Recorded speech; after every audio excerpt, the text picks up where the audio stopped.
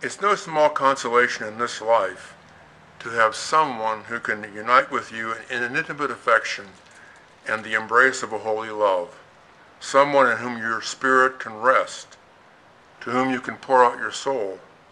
to whose pleasant exchanges as to soothing songs you can fly in sorrow, a person who can shed tears with you in your worries, be happy with you when things go well,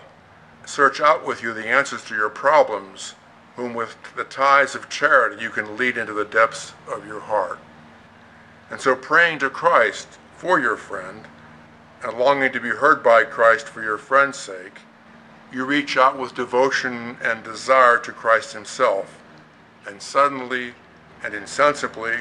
as though touched by the gentleness of Christ close at hand, you begin to taste how sweet He is, and to feel how lovely He is. Thus, from that holy love with which you embrace your friend, you rise to that love by which you embrace Christ.